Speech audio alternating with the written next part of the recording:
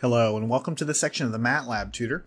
We're going to begin to talk about basic graphing in MATLAB, basic plotting of data.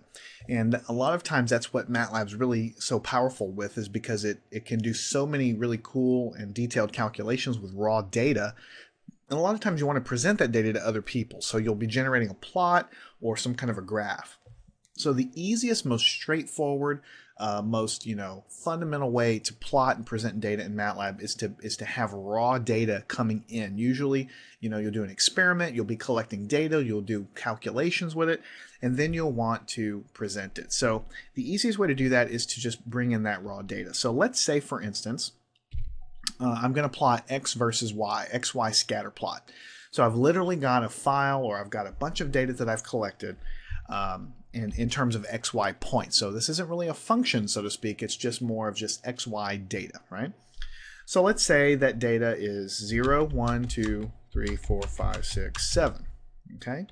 And that is my x data. So it's going up from 0 to 7. So I'm going to go ahead and hit enter, and that's creating a, a uh, basically a vector, a single line matrix of 0 to 7. Now I'm going to define a y vector that's going to be something like um, one, two, three, four, three. Let me go down here. Three, two, one, zero. So let me see how many points I have. One, two, three, four, five, six, seven, eight. So that matches the number of points in my other guy. So if I hit enter here, my y data is this. So this is something I've collected, right? Um, at x is equal to 0, y is equal to 1. At x is equal to 1, y is equal to 2, and so on. So I've got x, y pairs of data. All of the x data is contained in a vector x. All of the y data is contained in a vector y. Okay, this could represent some function you're, you're calculated or something you've measured or whatever. If you want to plot x versus y, right? And in terms of an xy plot, you use the plot function, which is built into MATLAB, x comma y. So when you pass the plot function something, it's going to expect some x values, and then it's going to expect some y values. So in this case, it's raw data. So let's see what happens. We hit enter, and up pops a window. Uh, and if you think about it, this makes sense because the values of y were increasing, and then when they got, you see what happened over here, when they got it to this maximum of 4, they started decreasing again. So this is the plot window. Whenever you use the plot command, the plot is going to pop up in a new window here. It's pretty Spartan, it's pretty plain, but the good news with MATLAB is that you can really customize um, you can customize all this stuff. You can change the way the axes look, you can change the way the line looks, you can change a lot of stuff about it. Let me go ahead and show you a couple of quick things that you'll probably want to do right away. You might want to add a title to your plot. So you can use the title command and literally open it up and just type in a title.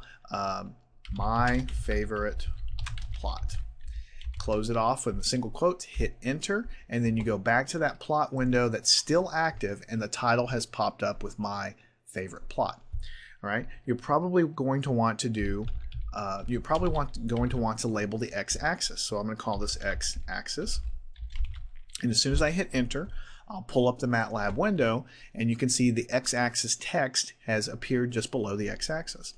So the y label, I'm going to call that the y-axis.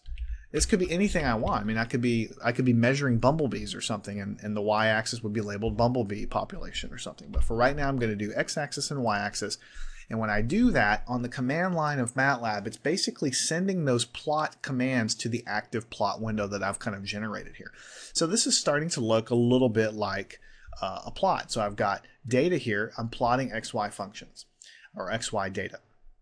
Now, before I forget, I want to go and make sure and let you know you can definitely set the title and set the x-axis and the y-axis in terms of MATLAB commands.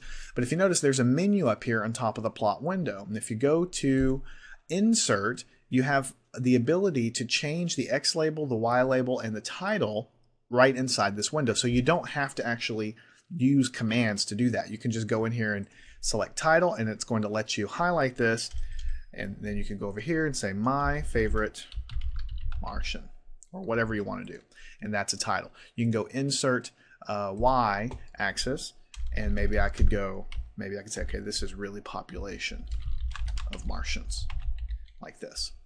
And when you do that, it goes and, and sets it vertically. All right, so you can set the uh, X and Y labels and you can set the title from the built-in menu here and it's plotting the data. Now notice there's a couple of features in here that I've touched on before, but I'll just make sure you understand. There's a zoom feature here, so you can go here and you can draw a box once you have that and it's going to zoom into this. You could zoom in again and you can really look and see how your data is behaving. When you hit the minus uh, magnifying glass, you can go back to your standard guy. So you can zoom around and, and, play around with the plot. Now you can also use this one, which is the data cursor. It's basically a trace. So notice when I change to a crosshair, I can click down here and it's going to snap to the nearest data point at x is equal to 1, y is equal to 2. You know, I can go over here and click and do and notice that x is equal to 2, y is equal to 3. And I can go click up here and see the x, y values wherever I click. Now the neat thing is, much like a graphing calculator, once I've got this thing snapped onto my graph, I can uh, I can actually use the left and right arrow keys. That's what I'm doing now. I'm just hitting the left and right arrow keys to cycle through these points. So, you know, very, very simple example, but I just want to make sure you understand the easiest way to put a plot together in MATLAB is to define the X data, define the Y data, and then just do a general scatter plot, which is using the plot command. You're plotting X versus Y.